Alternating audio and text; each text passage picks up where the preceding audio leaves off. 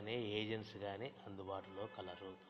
ముఖ్య గమనిక మా దగ్గర మిషన్ కొన్న కస్టమర్లకు మాత్రమే రా మెటీరియల్ సదుపాయము కలదు.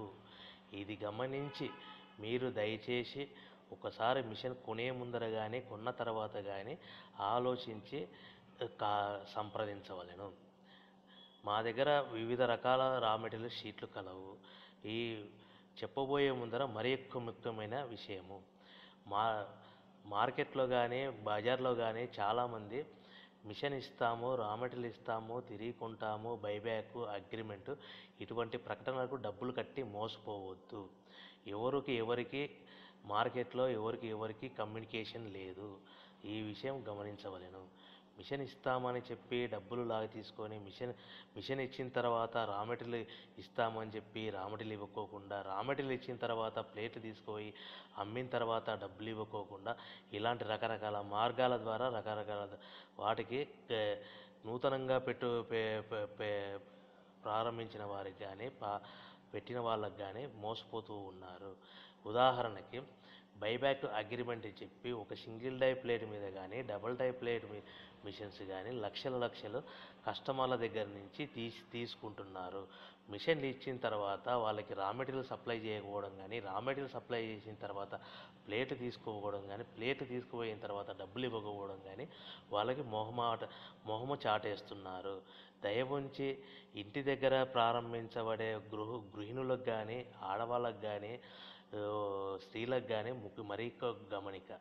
ఈ వివిధ మార్గాల వివిధ మాధ్యమాల ద్వారా ఆన్లైన్లో కానీ వార్తాపత్రికలలో కానీ తెలిసిన వ్యక్తులు కానీ తెలియని వ్యక్తులు మాటలు నమ్మి డబ్బులు కట్టి మోసపోవద్దు. ఎలాగా అంటే మిషన్ ఇస్తామని చెప్పి డబ్బులు తీసుకుంటారు. అగ్రిమెంట్ చెప్పి మరీ నమ్మే పలికి మోసం చేస్తారు. మ- మెటీరియల్ ఇచ్చేసరికి మాకు ఆరోగ్యం బాగాలేదు మా హెల్త్ బాగాలేదు మేము ఒక వారం పది రోజులు ఆగిన తర్వాత అనేసి మా వివిధ మార్గాల ద్వారా మార్ సమాజంలో మోసం చేస్తూనే ఉన్నారు.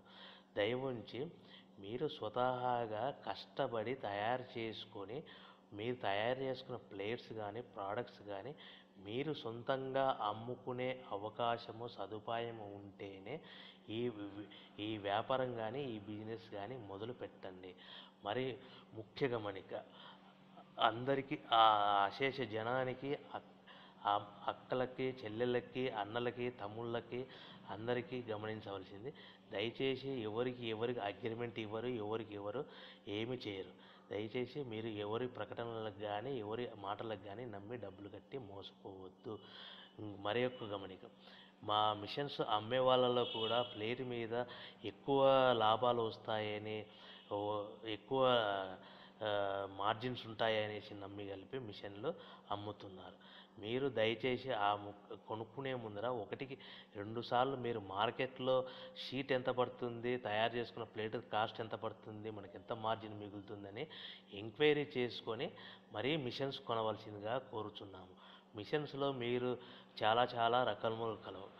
సింగిల్ డై ప్లేట్ మాత్రము డబుల్ డై ప్లేట్ అని రెండు రకాలు కలవు. సింగిల్ డై ప్లేట్ అంటే ఒక ఒక ప్లేట్ మాత్రమే తయారవుతుంది. డబుల్ డై అంటే రెండు ప్లేట్లు మాత్రమే తయారవుతుంది. ఇది వారి వారి మిషన్స్ వారి వారి క్వాలిటీని బట్టి వారి వారి స్పేర్ పార్ట్స్ని బట్టి మిషన్స్ మార్కెట్ రేట్లు అందుబాటులో కలవు. ముఖ్యముగా ప్లేట్లు అనేటివి మీకు అర్థమవ్వాలంటే బాగా వివరించి చెప్తాను.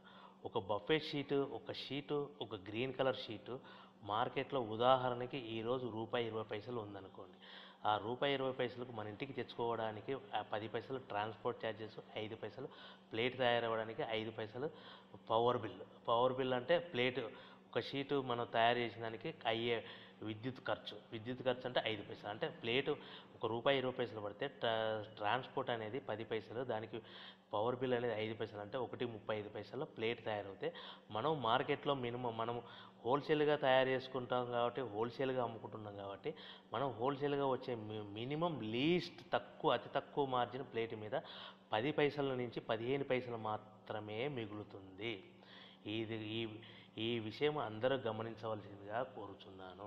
ఒక బఫెట్ ప్లేట్ అయితేనేమి ఒక గోల్డ్ కలర్ షీట్ అయితేనేమి ఒక సిల్వర్ కలర్ షీట్ అయితేనేమి ఒక టిఫిన్ ప్లేట్స్ ఏది ఏమైనా కూడా ఏ ప్లేట్ అయినా ఏ కల్ సిట్టింగ్ అయినా బఫెట్ అయినా టిఫిన్ ప్లేట్ అయినా ఏదైనా మినిమం పది పైసలు మాత్రమే లాభాలు మిగులుతాయి.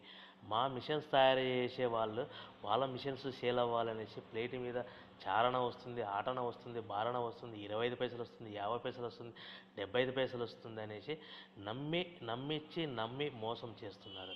ఈ ఈ విషయం కూడా గమనించవలసిందిగా కోరుచున్నాము. మీరు